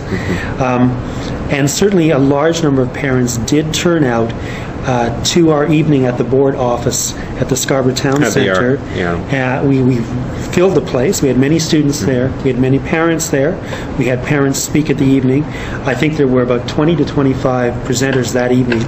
And the hall was quite there. So they were there in numbers. Uh, however, b- being new Canadians, the the detriment of, of it being a new language, a second language for you, as English is for many of our parents, uh, may be an inhibiting factor poli- to political involvement. However, they made their presence certainly felt that night at the Scarborough Town Centre uh, that we made our presentation to the board to keep the school open. I don't think that the letters that we sent on to the trustees really mattered. I, I think their mindset was uh, to close uh, Midland. And it was very difficult to fight against that. You always felt as if you were knocking your head against a brick wall uh, because of that, that closed mind situation. for the big question mark, but they didn't want to deal with this. No, we're not dealing with that. We're going to get X amount of dollars by doing this. We're close the school. We want to close the whole school. We wanted partial leasing. They wouldn't give us partial leasing because they felt that they couldn't make up enough money from partial leasing. They want to lease the whole school. And then we said, well, what about R.H. King? You're going to move some of these kings, kids to R.H. King? You've got to upgrade the school. Well, the money will come from the closure. We'll take some of the proceeds from the closure and upgrade a school that is so terribly in need of it. It is so bad. It would have made more sense to just move R.H. King, move the whole thing over to Midland because the the kids coming into the area would be so much easier transportation wise, and it, it was just so so poorly looked at. So this commission has its final sort of public hearing on the 9th of June 99? Around then, yeah. Yeah, were you there at that time? No, I didn't participate in the local committees. Uh, I didn't see it as my role to. Um, ultimately, as a trustee, I'm going to have to make a decision. And I'm going to have to make a decision on a committee report. And I didn't think it was appropriate uh, for trustees to be influencing what that report would say and then voting on it at the board table. Uh, but you got you'd been, you'd been contacted by the parents that they put their brief to you relative. Yeah, I'd, I'd seen the, I'd seen the information. Yeah, and I met with them over the summer too. Yeah. Yeah. So what did you think of uh, their point of view? Did you think it was uh, emotional, or did you think there was some sort of rationale behind their argument? I think there. I think there's a bit of both. Um, there's good reasons to keep any school open, and there's a lot of bad reasons to close any school. Uh, talk to school trustees. None of us took those jobs to close schools. It's not something we want to do. Uh, and I also actually believe in the value of having a small student population. I went to a school that had 120 students in it. So small schools, something I philosophically agree with, uh, but not small student populations inside of huge plants, huge physical buildings. Um, so there were rational reasons for keeping a school open. There weren't really rational reasons for keeping Midland open. Uh, and there were a lot of emotional reasons, as there would be for any school. I certainly empathize with that. Uh, you can't you can't not. Anybody who's been part of the school would empathize with that because we you know, we know how attached we come we become to it. Uh, but from a rational perspective, it would be Midland, with which was at about 50% of capacity, uh, or eight small elementary schools that were at 70 to 80% capacity. Uh, you, balance that out, and those were those were the terms. And from your point of view, that was the, that was the choice. That was the issue for me. Yeah. The local trustee was a guy named Jeff Kendall. Oh, yes, Jeff Kendall. Yes, he came to a couple of our meetings. He seemed to indicate that if we could come up with viable business solutions to what was essentially a business problem, the schools were losing money because of lack of enrollment. Jeff reiterated that the problem for TDSB, Toronto District School Board, is money, and I've put money in capital letters. Funds are extremely limited, and the envelopes are clearly separated into instructional funds and non instructional funds. According to Jeff, there are only three ways to keep Midland open A. Find money in the budget. B. Put money in the budget. C. Come up with new money. So at that point, July 26th, he seemed to indicate that it would be possible for us to save our school if we came up with ways to generate money for the TDSB. Ways that would allow Midland to stay open but generate money. So we got all excited and we went out and we solicited lessees. And we had three of them who wrote letters of intent to the Toronto District School Board saying that they would be agreeable to leasing a part of Midland Avenue Collegiate. Some of the teachers say that um, you had said at one point that uh, the choice was either to come up with new sources of money or else to uh, move money around within the budgets and so on and so on. And, and uh, their feeling was that some proposals which they had got onto paper about leasing part of the school hadn't been carefully looked at either. Do you think that was Carefully looked at to some people means not agreed with. you know, if you don't agree with their decision or their suggestion, it wasn't carefully looked at. I don't have to look very carefully at suggestions which I've already looked at carefully. Uh, and in fact, none of the suggestions that were presented to either myself or, or to the planning staff were things that we hadn't considered before we looked at closing schools. Uh, and partial leasing of the school was really the crux of the of the recommendation of Midland, and it's just not tenable. You, you can't have a building that's a school uh, that's built for access within it. It's not a building that's segregated off into parts. Uh, you can't start leasing that out to companies and, and other groups who want to bring their own people into the school. because you can't control when they're coming in, who they're going by, and what they're doing when they're in your building. Uh, it's one thing to lease out a whole school, and then if they have trespassers, it's their problem. But you can't lease out half of a school to different groups and expect to be able to maintain the security of the premises that we need to as a school board. And so, what did the community lose? I mean, incidents of aside from the fact that okay, great auditorium, great swimming pool, and so on and so on. I think they lost a very vibrant learning hub within their community, uh, a hub that uh, provided them with uh, with excellent facilities, and and the facilities I think lift students. They inspire you. The fact that you go through halls and they're lighted, and that you have access to a, a, a wonderful cafeteria that's a, a walled uh, structure of glass that you can constantly look out and into your community and, and, and have light come in. There was almost a kind of a, a reciprocal uh, relationship between the school and its surroundings because you were always looking out into the community. Uh, it was a welcoming place because of the, of the design, uh, its structure, the wide hallways, the ample foyer, uh, the two-story library, for example. Uh, the very structure of the building was student and staff friendly, and I think that that does something uh, when you're entering such a building. it simply lifts you, it lifts your spirits to be in such a facility, and the community benefits from having ready access for their students to go into such a building. And uh, it, again, it's a facility for the community to use in terms of its auditorium and pool as well, and a meeting place too. And I think that's lost. And simply having to have your, your students now uh, commute take buses, go out of the area uh, to get to another school. That can be a detriment to student learning too, because it's more difficult for those students to get to the, the building on time. For example, having to uh, to take buses, having to walk in inclement weather a long distance if they're coming to a, another school instead of a neighborhood school. All of that has an impact, I think, on success rates, on dropout rates. Uh, and so I think the community will feel for many years the impact of a school closing. Conclusion? Moral of the story? Well, I don't know. We fought the fight. we didn't. We feel like we didn't accomplish anything. Um, I don't know that I would do it again. It just Bureaucracy feels too heavy, or just not democratic enough? It's just not democratic. Uh, the decision had been made. Yeah, the decision was made, and they just it's they're letting you they're making you feel that oh we have a say, but it doesn't matter because they're they've decided, and you sit and you talk, and even while you're talking, a couple of them just go through papers and talk to each other. And, and they're not listening to a thing anybody said not just me anybody. It doesn't matter who's talking. When they talk at regular meetings amongst themselves they get up and they walk out of the room and they do this they do that.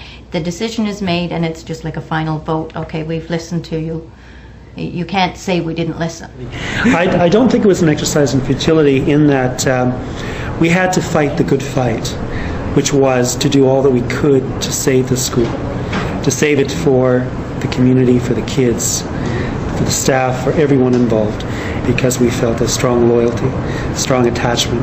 For me, the attachment runs back decades because as a student in Midland, I was on the SAC.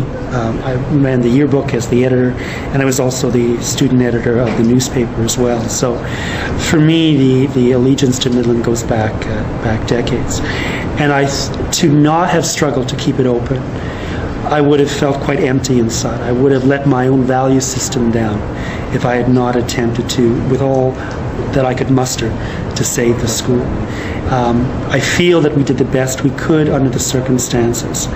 I think that groups that have come after us in other communities and other schools have learned from our activism and perhaps have been more successful.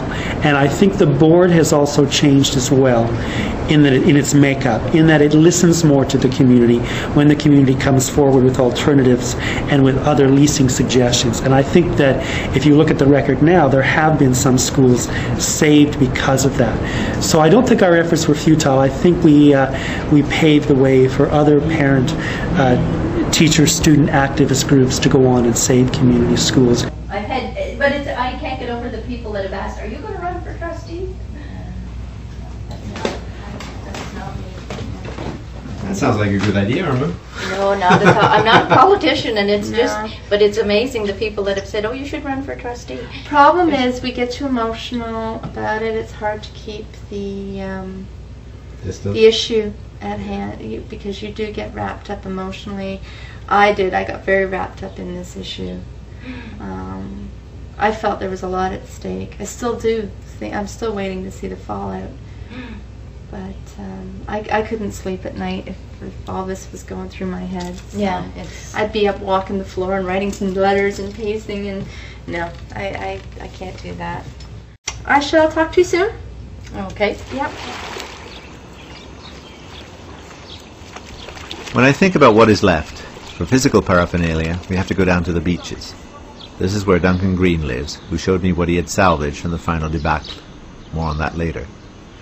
As for what's left in people's minds, I thought the best thing would be to talk to the most recent batch of students, the people whose faces Sharon Hershenhorn showed me shining from the glossy pages of the final yearbook. So the school was considered an inner city school. Why was that, and what does that mean? Inner city, um, Scarborough's the ghetto. that's my daughter's opinion. uh, an inner city school. Um, the students there are not from economically advantaged families. They don't have many options open to them.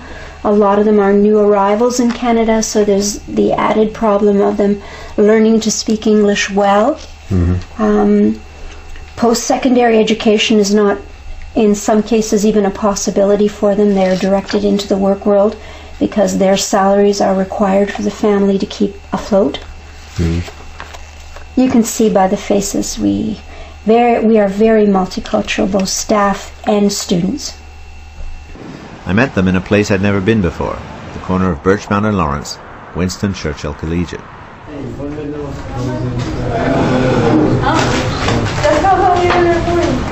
Hi, my name is Vineet, Vineet Mehta, and I started going to Midland. Actually, when I came to this country, that was two years ago, and that was my first school I started going to. And it Where was. did you come from? Where you were from? I, I've come from India, Bombay, and So what do you remember about the Midland uh, experience, as they say? Mm, I don't know. I, I remember a lot of things. Like the the thing I miss most, or I remember most, is when I ran for elections for for presidentship for SEC. You all remember that? Yeah. Yeah, and I lost, but still, it was it was a lot of fun. Yeah, and that was my slogan. Vineet is what you need. So, and it flopped as usual, but it was a lot of fun having everyone with me, you know, supporting me and then not voting for me. It was a lot of fun. Yeah, okay. All right. No, no, no, no. Go ahead. All right, I said we'll come back. Can you give me your name, please? Hi, um, my name is Bristy. Yeah. And I was in Midland for four years, from my grade 9 to grade 12. Oh, long time. Yes, a long time. And um, What do you remember Now- about the school? now that I think about Midland, everything I remember is positive. Like, I can't remember, actually, nothing happened bad to me in that school, and everything was awesome. What I liked the best about Midland was that it was small and ev- like everybody was a family. And all these people sitting here i don't know all of them but i know their faces. And so in midland you knew everybody pretty much even though if you don't talk to them. And you know you go down the hall you say hi to 10 people before you could get to class.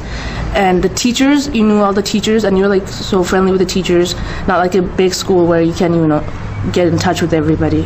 And Actually, now one thing I regret is not going to the all the meetings and everything when Midland was closing down. And um, I thought, you know, I was just thinking, oh, I didn't, I don't need to go. It will never close down because you know, with all these people in here, the government would never close it down. But to my surprise, they did. But I really regret, you know, not showing up myself and Okay. saying what I had to say for it. Can we make a connection between this and the way that democracy functions in Canada?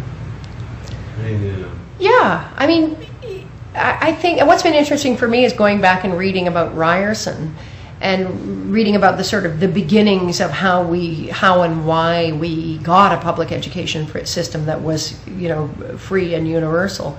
And he talked a lot and we we used to know but except now we kind of toss off you know it's the cornerstone of democracy. We say those kind of things but we forget you know what it means. And and I think that we have to remember that, that the reason that you have to have a public education system in order to have a democracy um, is that you you have to educate voters for one thing. You have to educate people who can participate in the democracy, and it's vital uh, that you you you you give that education on a fair basis. You have to give everybody an equal chance to be educated enough to participate in the democracy. The motivation for uh, collecting these signatures and, and possibly uh, forming an association? Well, um, we uh, thought that perhaps, you know, if there was going to be nothing left, this was this whole institution was going to vanish.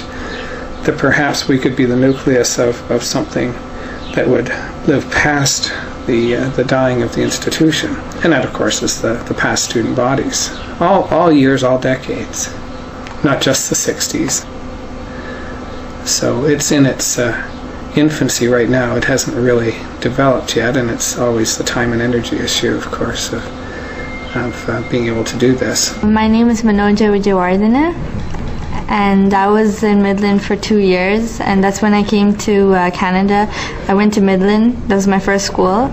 I came from uh, United Arab Emirates. I'm originally from Sri Lanka, and um, I my uh, the only thing I don't like is the reason why they closed the school. It wasn't good enough, just because that each student is given a specific square feet. Um, none of um, nobody considered like um, what we would feel about the closing. None of us thought it'll close because um, I don't know Midland uh, had a lot of history.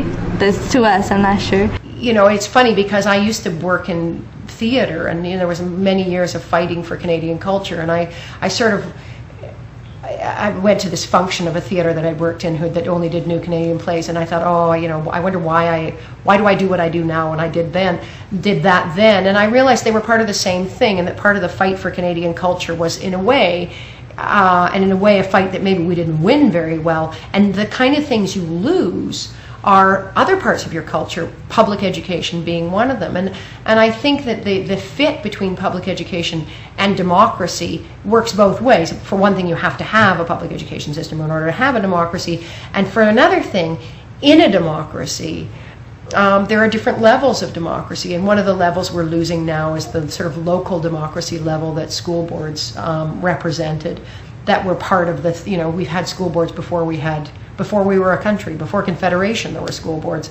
Um, because, and they were set up to meet local needs. It was really important that you actually did that. I've heard it said that the academic standards weren't very high. There were a lot of basic level students, that sort of thing, and so on and so on. Was that fair, do you think? No, no, it wasn't. They tried to help everybody. Oops, excuse me. They tried to help everybody at every level. So that people say a lot of things, but it's not true. They're just Yeah. jealous, you know. Because Midland is so better. School is wide open. It has a nice swimming pool, gym, the football field, the cafeteria, the fries, the mayonnaise. I mean, whatever, whatever. Anyway, exactly. It's the foyer was the best part. It's so big. It's like compared to this way, it's like ten times bigger. Like when you walk in, like it's like a oh. football field, like right there. You can just like play like play hockey or cricket or whatever. When I yeah, when I came to the school, I heard a lot of uh, like I heard that Midland had a bad reputation, but you don't know how good it is till you're there. So yeah, I don't And think the- they should uh, make Reopen. comments if you do if they don't know anything. So And the academic standard really like depends on yourself. I think people think Midland is you know not as high as a level as uh, other schools, but what I found was I'm I was I'm doing OAC right now, so I had a big change from grade 12 and I had to come here and finish up my OACs. What I think is that in Midland you got a lot of help because you had a small school and all the teachers knew you and they're willing to help you. I mean, like other schools, I've talked to my friends who go to other schools. It's like they give you something and you're totally on your own. But in Midland, you got help from other teachers. You had questions and you had to, you could go to other, you know, help, get help from people.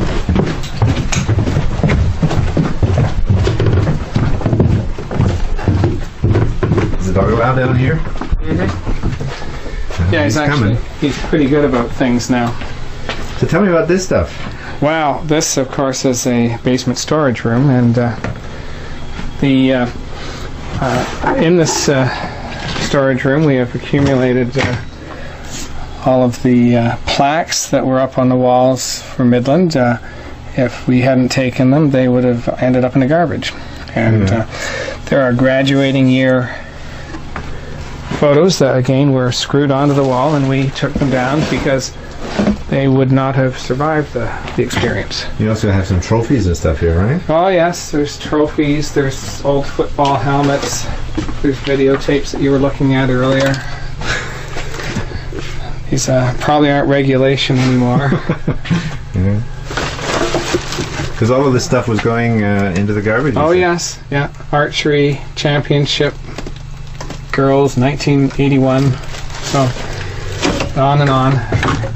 And you know, all of this ended up being dumped in one room. Uh, all the pictures that had been up on the wall for the uh, closing ceremonies, uh, the current students last year had uh, put them up on Bristol board, and so it in the auditorium, and gave people an opportunity to go around and, and find themselves uh, on the wall. And uh, all of that would have been disposed of, and so it's now here. Mhm. So it's it's what's left of Midland is in the basement here. And yet, I've been told that when people were forming the committees against the school closing, there, there weren't too many students involved. Uh, how come? how, come how come the students didn't mobilize more? No Or- actually actually believed Midland would actually close. No one actually like thought that. Like I guess all of us were like, yeah, no, it won't close. Like you know, we went there for two years. Or it was a Me and such like a. Just a second. Can you start that again? till, till, till the last minute you didn't know if the school was closing down or not and i think just a month before midland was actually closing down like midland was closing down in june and in may or in april we came to know that the school is closing down in may in may they actually like it was a formal thing that the school is closing down and And there was an understanding 150 years ago that you uh, about the importance of public education, about the, you know, eh, Ryerson said it was, you know, it should be the first charge on the wealth of the province and that it had to be publicly funded and it couldn't, none of the expense should fall into, on parents. And, um, and he understood that, and he understood it because it was important um, that you educate a, a civil community. I think he called it. That, you know that we were educating citizens here, and that that's why it's not just an issue for me because I'm a parent. I mean, he even talked about the difference between training and education, and that it was not training that that, that people needed. It was a. He talked about the importance of all the different the, all the different faculties that had to be brought into exercise, and about the arts and music and drawing and um, physical education. And I think that, I don't know, it's like a lot of things these days. Having a de- democratic, you know, participating in a democratic society, having public institutions. I think we've we've forgotten the original reason why we had those things. And in forgetting that, we kind of just assume they'll always be there. And in making that assumption, we put them in danger. And they're in danger by all different kinds of governments. There's tons of cuts happening by NDP govern- governments too, provincially. And so it's not, and it's in that way that it's not necessarily a left-right thing.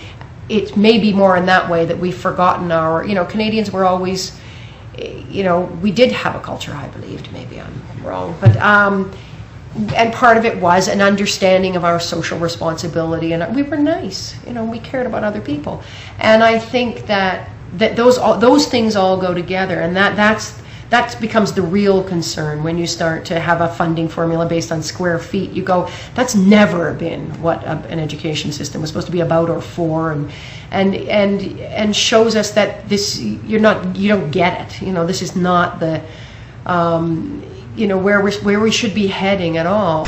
One of the reasons that they closed the school, so people say, is that there weren't there weren't too many options because because there were so few students, they weren't able to open up the options. Was was this a problem? No. No, not really. I think it's the opposite. Because they had fewer students, that's why I think fewer students had more options than compared to this school. No, honestly, that's what I almost think. all kind of sports. was. Like we have all, almost all kinds of sports like carom, chess, and like uh, archery, basketball, hockey, cricket, volleyball, cricket. football, volleyball, The other swimming, thing about- everything. I gotta move. Yes. I'm waiting for you because I know you were. The other thing about Midland that I, I don't think any of us mentioned yet, it was very multicultural. And that was such a positive thing about Midland because everything that would happen, multicultural day, everything that would happen, it was so multicultural. So, you know, you didn't have discrimination and all that in that, in that little school as much because you couldn't live with that. If Mm. you, if you're like a, you know, discriminating others, you couldn't really be in that school Hmm. because everybody around you is from a different country, speaks a different language at home, and like everything was so much fun, like multicultural day, and we had things that other schools didn't have. Like we had a cricket team. Not every school had a cricket team. Well, pretty rare, no? Yeah, yeah, and we had carom and everything, and like you know we had multicultural teachers. Teachers from India would teach carom and from the Caribbeans, they would teach carom and stuff. There was everything. Like I don't think there was any lack of options in Midland at all. Uh, sorry, sorry. Um, she's talked about the cricket team. Midland was the first collegiate in Scarborough to have a cricket team. Wow. The first.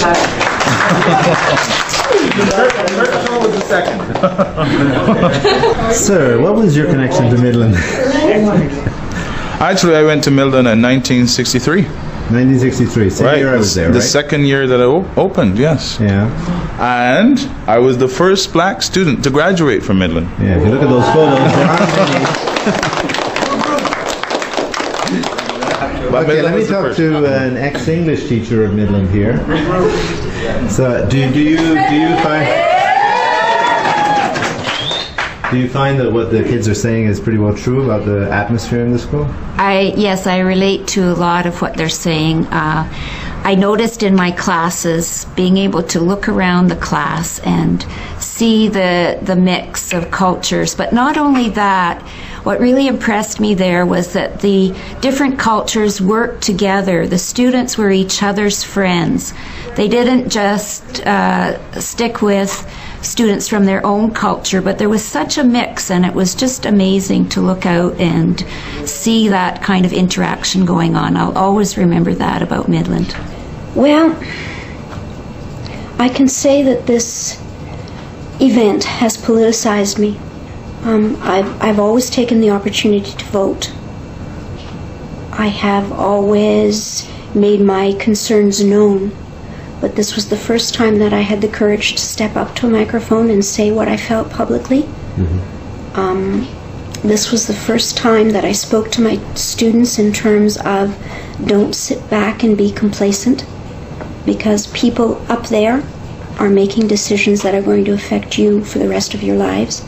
Speak up now, become politically active now in your teens.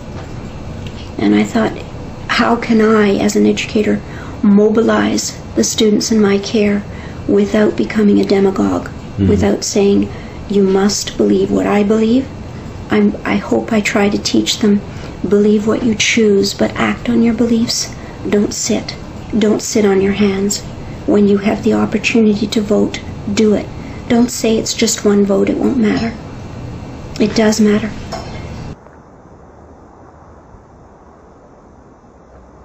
I never thought I would see the day when someone would say that an event concerning my high school had politicized them. After all, my memories of the place were completely and totally apolitical, a source of some carping and criticism later on.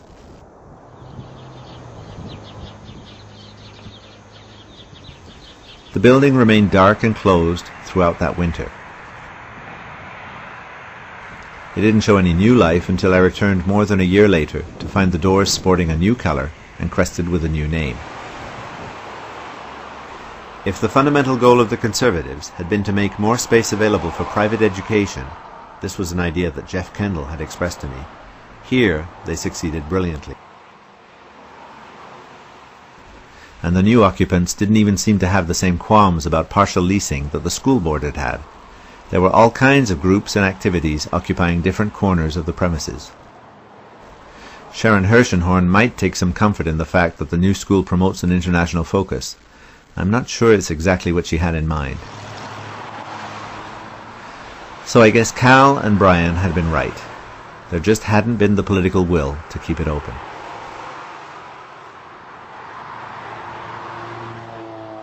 Anyway, in the autumn of 2003, I learned, along with the rest of the world, that that particular Conservative government had finally got booted out and a new period was opening in Ontario politics. But how much of the damage could be restored? And was there the will to restore it? Once you've destroyed things that were of value, you can't just go back to the way they were before. Even if you reinvest, destruction creates its own inertia. The community reorganizes itself, and things go on differently. The loss and the cost are perhaps largely intangible, but they are there, nonetheless absolutely real. I just hope that the next time some political huckster says that the way forward to true happiness is downsized government and less expenditure, people will think a little harder before they buy it.